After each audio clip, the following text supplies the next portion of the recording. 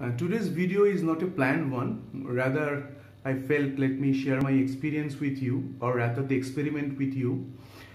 Uh, this is the nano cube you can see beside me uh, for my betta, and I find that plants are melting. Let me first show you what is happening and then discuss what I am going to do. So, this is the tank. You can see more or less all my uh, Staurogyne repens are melted few of them left. Even the grass is not doing well.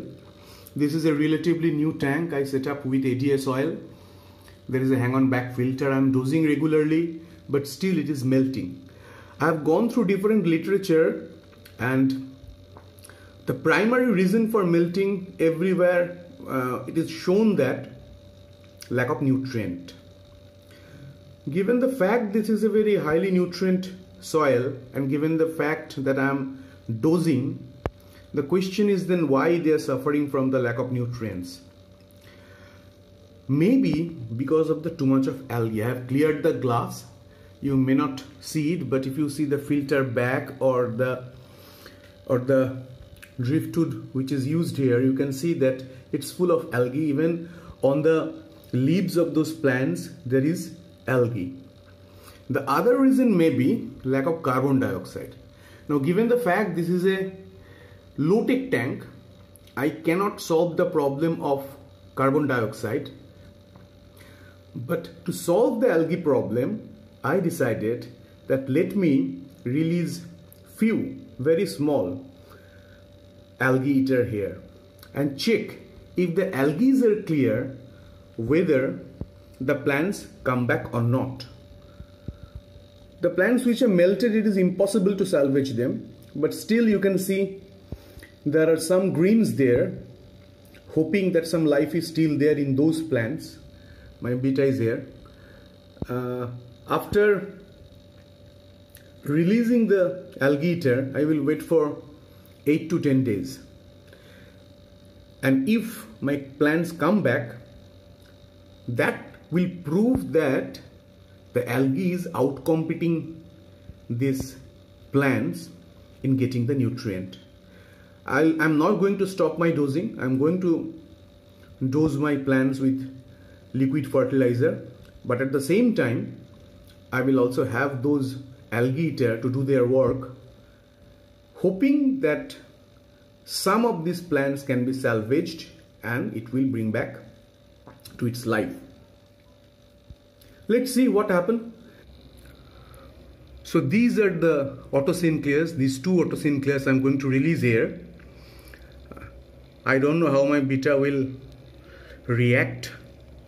This is his place, but look at this. So messy. Maybe within a span of 10 days, they can clear it up.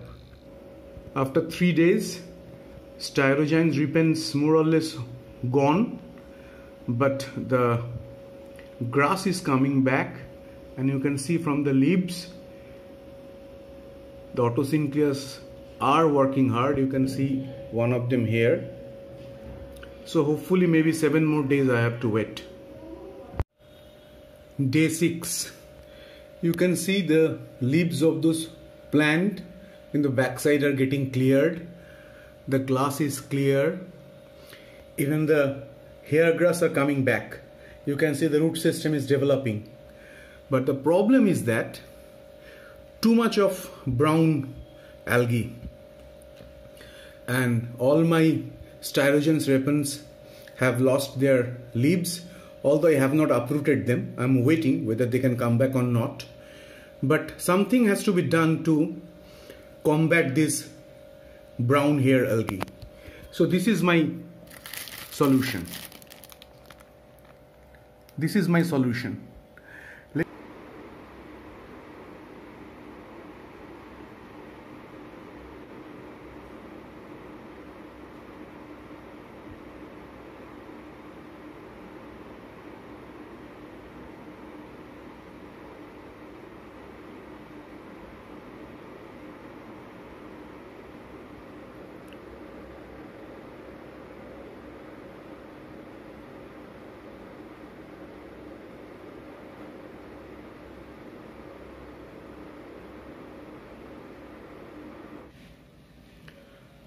So brown algae is gone. Grasses have come back. The stems of Staurogyne repens are still there. I'm waiting for them to revive. And if that revive, then the experiment is successful. This is 10th day. Day 15. Mm, algae is gone. You can see crystal clear both brown algae and those film on the driftwood all are gone. Uh, so what I learned, that's the most important thing. Whenever you are setting up a new aquarium, it is inevitable that uh, plants will be melting. The plants melted because uh, they are converting themselves from emersed conditions to the submerged condition and also because of the algae what happened that they don't get the nutrient to come back. This is a non CO2 tank is a low tech tank. Now the only possible solution is that don't let your algae outcompete your plant.